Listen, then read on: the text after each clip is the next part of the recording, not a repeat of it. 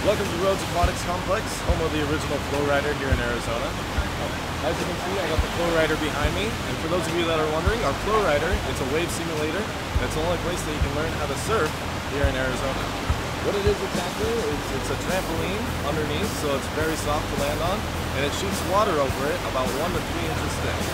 On it, you can either boogie board with specially designed boogie boards, and you can also surf on it with specially designed flow surfboards. Our hours of operation are 1 to 8 on Mondays and Tuesdays, Wednesdays, and Thursdays as well. Fridays are 1 to 9, and Saturdays 11 to 6, and Sundays uh, 10 to 5 p.m. Currently right now, as you can see, we do offer slow rider lessons. Those go from Monday through Thursday on two-week increments, where you can learn how to boogie board a little bit better, stand up a little bit better, and to work on different various tricks. So come on down the road to Aquatics Complex. We're open through the end of July, and we'll be open over weekends through Labor Day weekend.